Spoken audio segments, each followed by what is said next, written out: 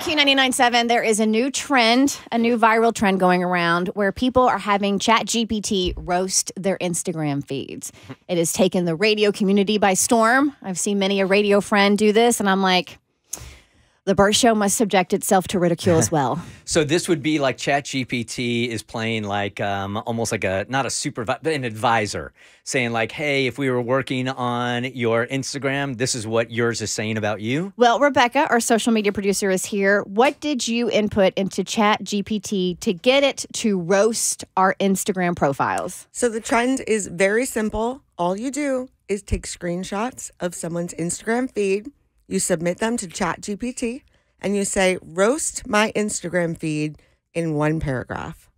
And um, this is not my fault. I'm sorry.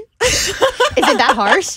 Uh, it's it's pretty brutal. Actually, uh, I saw this trend yesterday morning, and I tried it myself, and I was like, okay, I thought this might be a good idea, but uh, I'm not going to send this to anyone until Kristen asked me to do it. What do y'all have against self esteem? I had also done the same thing. Yeah. I saw it, was going to submit it, did my own, and I was like, maybe not. so you're specifically asking for it to be critical, Yes. to roast you. It's okay. going. It's literally Chat GPT is about to roast us All for right. what our Instagram profiles look like. Okay, that's very different than just asking it for like um, a grade. No. You're saying like specifically pick this thing apart. Attack me, please. Okay, all that right. is what we've done. So who should we start with? I think let's start with Bert. Okay.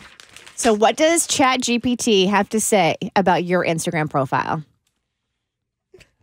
And we're all seeing these, reading these for the first time because Rebecca was tasked with this. great. uh, your Instagram is like a midlife crisis. caught hey, yo.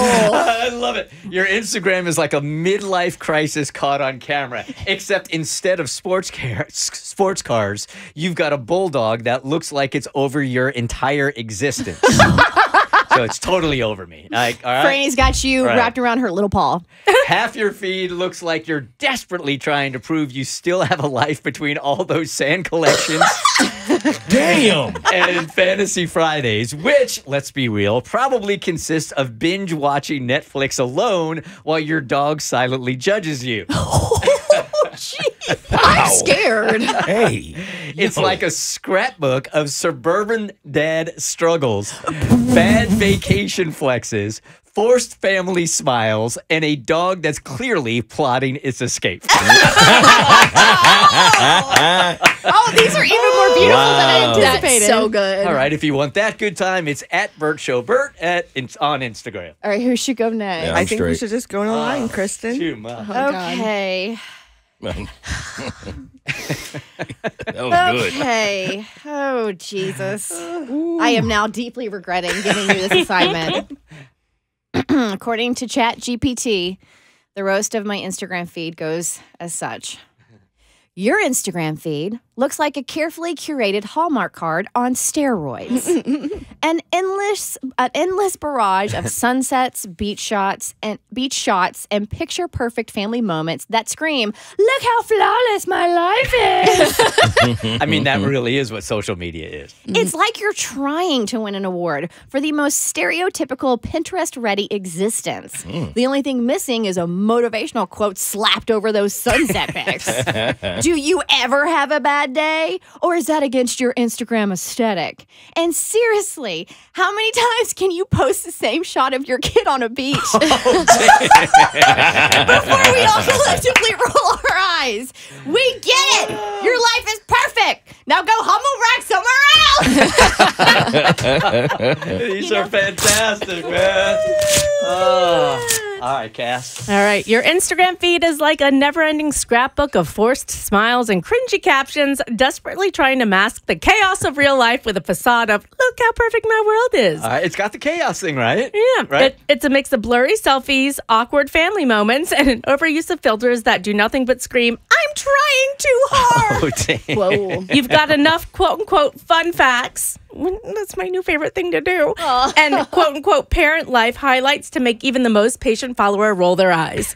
It's like you're trying to be relatable, but it all comes off as a cheesy attempt at staying relevant in a oh. social media world that's moved way beyond whatever you're trying to pull off here. ChatGPT is an a hole, man. All right, again, these are we're asking ChatGPT to roast our Instagrams. All right, I'm Mo Mitch on Instagram. Your Instagram feed looks like a desperate attempt to prove you are the coolest person in the room. but it's given more trying too hard vibes than anything else. With all these travel pics, it's clear you want everyone to think you're some kind of globetrotter. but let's be real, you probably spent more time finding the perfect filter than actually enjoying those places. That might be true. And the constant reminders that you're a comedian and creator. We get it. You're grinding.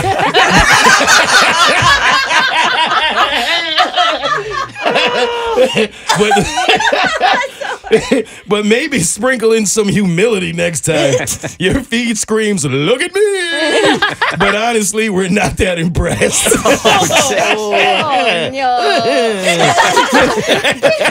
oh no, Abby's teetering already. this this might be the thing. Mom, can you come get me? I'm scared.